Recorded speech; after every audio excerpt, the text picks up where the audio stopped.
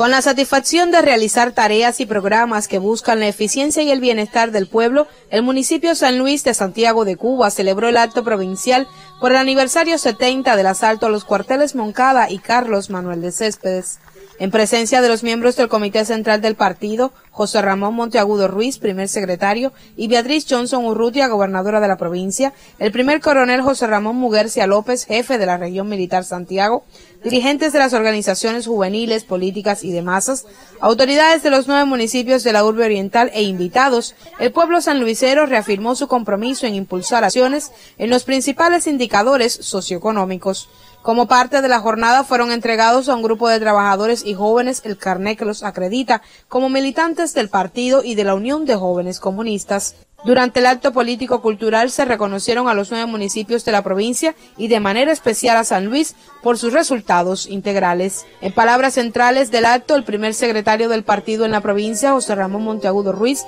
convocó a una nueva etapa de trabajo motivada principalmente por el aniversario 65 del triunfo de la revolución, cuyas prioridades estarán encaminadas al crecimiento de la producción de alimentos, construcción de viviendas y el mejoramiento de la infraestructura en barrios y comunidades. Con la asistencia de la miembro